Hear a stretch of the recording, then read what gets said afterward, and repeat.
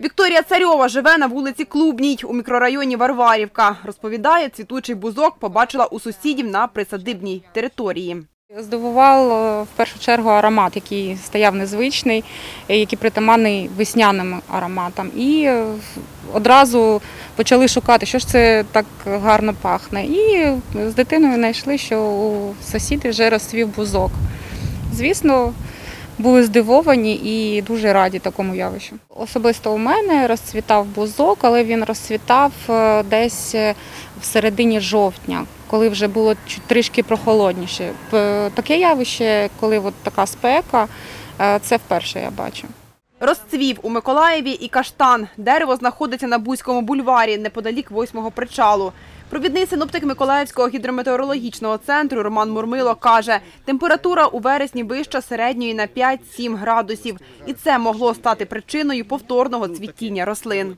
У нас 20-30% від норми всього опадів, тому це певно якийсь більш вологий ґрунт, який дав е, сили е, рослині цвісти.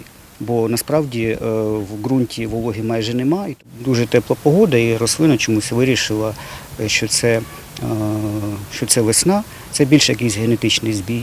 Ну, Щось в самій рослині сталося, що такий от збій відбувся.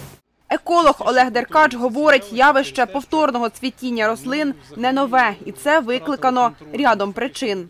Аномальні кліматичні умови, наприклад, тривала посуха, або різке похолодання, потім знову потепління, або якісь е, стихійні явища, наприклад, пожежі. Після пожежі також е, часто рослини можуть е, зацвітати, механічне пошкодження рослин, старіння рослин. Скоріше всього, що в останні роки цього року, зокрема, вторинне цвітіння спричинене тривалою спекою яка, як інші чинники, про які я вже говорив, може вивести із спокою е, квіткові бруньки, запускає е, ці процеси розвитку, так, і е, ми спостерігаємо це цвітіння.